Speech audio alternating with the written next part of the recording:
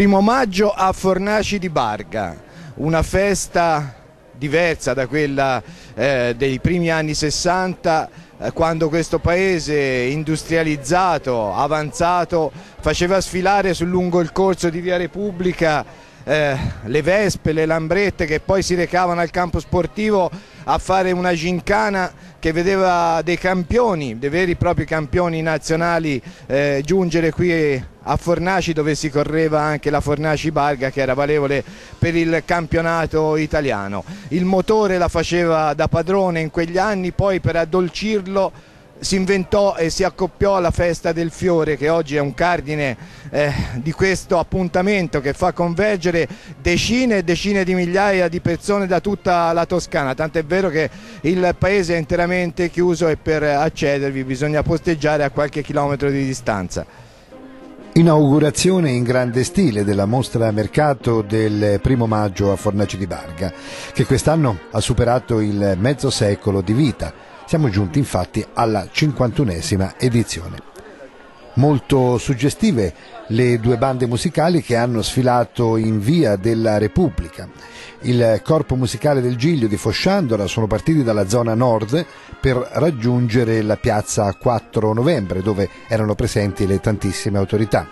mentre la banda musicale dei Corelli Antelminelli è partita da sud per raggiungere anche loro il centro. Successivamente eh, le tantissime autorità presenti hanno effettuato il simbolico taglio del nastro e inaugurato ufficialmente la manifestazione. Tra le tante associazioni e gruppi presenti alla manifestazione anche gli operai della, possiamo dire, ex cartiera Corsonna, che in questi giorni attendono di conoscere il loro destino lavorativo e ne parleremo nel nostro servizio.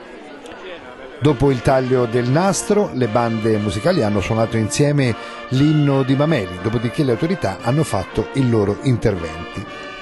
Il primo è stato il presidente del comitato eh, Primo Maggio a Fornaci che ha sottolineato il momento delicato che stiamo attraversando ma ha anche fatto notare come proprio da Fornaci emergono dei segnali positivi. Successivamente l'assessore provinciale Mario Regoli ha centrato il suo intervento sul momento difficile occupazionale della provincia, toccando direttamente anche lui il tasto degli operai del eh, scatolificio appunto Corsonna. Successivamente il sindaco di Barga, Marco Bonini, anche lui ha sottolineato la, la, il momento delicato appunto per gli operai della Corsonna, e, ma ha anche parlato della necessità di dare dei segnali positivi in questo momento così delicato e il primo maggio a Fornace è l'esempio di come insieme si possa vincere superare, e superare appunto la crisi del momento. Molte le autorità presenti, tra cui il sindaco di Coreglia, il sindaco di Fosciandola, i consiglieri regionali Ardelio Pellegrinotti e Marco Remaschi, i parlamentari, l'onorevole Raffaella Mariani e il senatore Andrea Marcucci, ma anche molte autorità militari, come il comandante delle stazioni dei carabinieri di eh, Fornaci di Barga, ma anche della Guardia di Finanza di Castelnuovo, anche molti consiglieri comunali, ma soprattutto tanta, tantissima gente. Per noi, Daniele Vanni, ha avvicinato il senatore Andrea Marcucci. Senatore Marcucci, oggi è il giorno della festa del lavoro, quindi è anche un momento eh, di, così, di, ripensamento sulla situazione della nostra vallata. Eh, non pensa che questa zona che ha delle fragilità particolari meriti eh, a questo punto, con la, la gravità dell'occupazione, che ha una legge speciale? Ma purtroppo diciamo, la situazione complessiva del Paese è una situazione molto molto difficile. Quello che c'è da fare sicuramente è un fortissimo coordinamento tra le istituzioni a livello comunale, provinciale, regionale e, sta statale per eh, verificare tutte le opportunità e drenare qua tutte le risorse necessarie per il rilancio economico. Parlo delle infrastrutture, parlo delle scuole, parlo anche del supporto all'impresa. La festa di oggi del primo maggio eh, anche con la presenza dei lavoratori del Corsonna che è una delle grandi aziende in crisi ma purtroppo non è l'unica testimonia proprio questa situazione difficile, ma testimonia anche la voglia del nostro territorio di rilanciarsi, di guardare al futuro, di lavorare e di impegnarsi per avere una prospettiva che oggi oggettivamente è difficile da intravedere.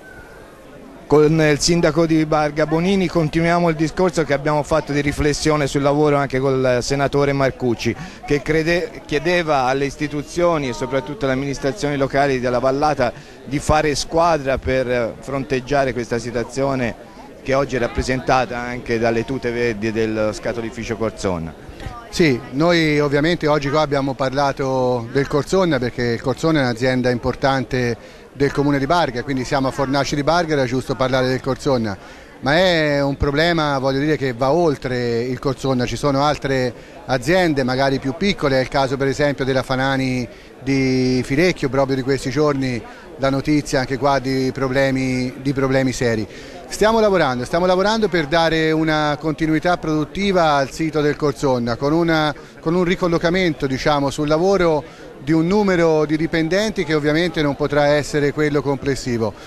Proprio per questo vogliamo anche, insieme agli altri sindaci della Valle, insieme alla provincia, insieme ai nostri rappresentanti regionali e, e nazionali, insieme alle associazioni industriali, eh, fare un, eh, una specie di accordo, chiamiamolo così, in cui le aziende più importanti della Valle, quelle che hanno la possibilità di un turnover perché ci saranno persone che escono dal, diciamo, dal mondo del lavoro, possano eh, proprio per questo attingere eh, dalla mobilità o dalla cassa integrazione che ci auguriamo di poter riuscire a rendere eh, la cassa integrazione in deroga al Corzonna. Eh, sono circa 80 dipendenti, quindi un numero importante per il tessuto produttivo della nostra valle, il nostro impegno deve essere massimo per questo. Ma oggi è anche un momento di festa, una festa nata negli uh, anni del boom con eh, le moto, le macchine ma anche i fiori, quindi anche un momento così di gioia e di festeggiare la vita della vallata. A noi dobbiamo non dimenticare i problemi eh, del lavoro, i problemi occupazionali che la nostra valle ha, ma dobbiamo festeggiare anche questo primo maggio con questo spirito, quindi è anche una giornata eh, di festa. E abbiamo sentito stamattina che nonostante la crisi che c'è in giro, questa è una mostra a mercato che continua a crescere. Gli espositori aumentano, eh, quindi vuol dire che eh, il lavoro che il Comitato insieme eh, all'amministrazione comunale, insieme a tutti quanti collaborano per la riuscita di questa manifestazione, è un lavoro che viene portato avanti in maniera positiva e quindi è una festa nella quale la gente crede, gli espositori credono, è una delle mostre mercato più importanti che abbiamo nelle nostre realtà territoriali e quindi ecco eh, le tante persone che sono state qua con noi stamattina, i tanti espositori che ci sono eh, ci fanno pensare che anche quest'anno l'obiettivo è stato colto e quindi sarà un bel primo maggio a Fornaci. il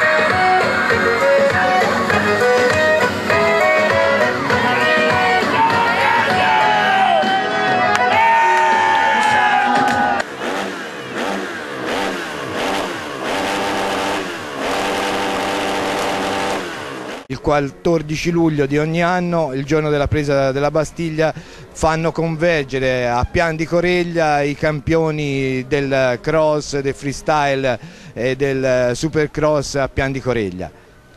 Sì, sì, grazie a tutti i ragazzi del Motoclub 360 Freestyle, insomma cerchiamo di organizzare un, un evento importante insomma, in Italia, l'Internazionale Italia di Supercross, ci saranno il 14 luglio qua a Piano di Coreglia. Ecco, la, la, vallata ha sempre avuto tradizioni crossistiche iniziando dalla regolarità, dal ciocco. Sì, sì, anche mio padre 30 anni fa qua c'erano una pista a ogni paese, adesso purtroppo negli ultimi anni ci sono stati un sacco di problemi, ma insomma noi speriamo e cerchiamo di lavorare per il meglio per portare, riportare una cosa antica da queste, queste zone.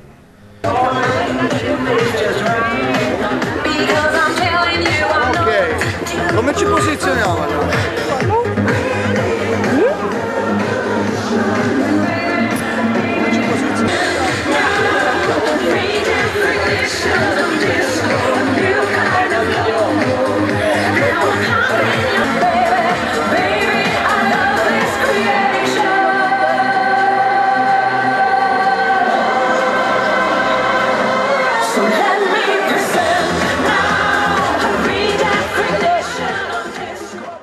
Il Supercross è una tipologia di gara eh, un po' particolare, sono piste corte con doppi salti, con wops,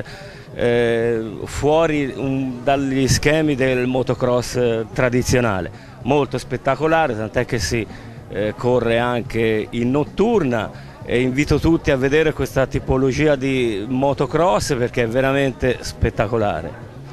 Ecco, eh, le moto dal punto di vista tecnico? Ma le moto dal punto di vista tecnico non cambiano molto, eh, hanno una varietà di tarature di sospensioni perché con le WOPS e la tipologia dei salti vanno adeguate a, a questo terreno, però l'evoluzione delle moto hanno fatto sì che qualsiasi moto anche eh, presa dalla casa madre sia validissima per correre questa tipologia di gare e poterla anche vincere, senza particolari preparazioni tecniche.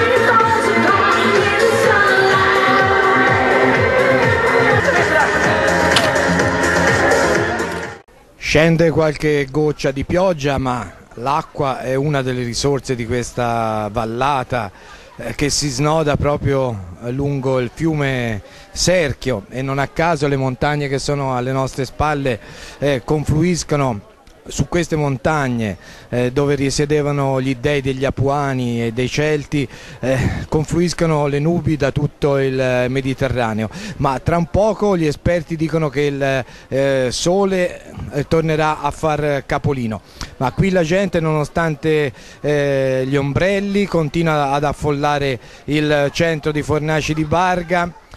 segno e presagio che il prossimo eh, primo maggio qui a Fornaci, eh, superati anche i problemi eh, lavorativi, occupazionali di cui abbiamo parlato in apertura, eh, saranno eh, superati perché il sole tornerà a splendere sul primo maggio del 2013.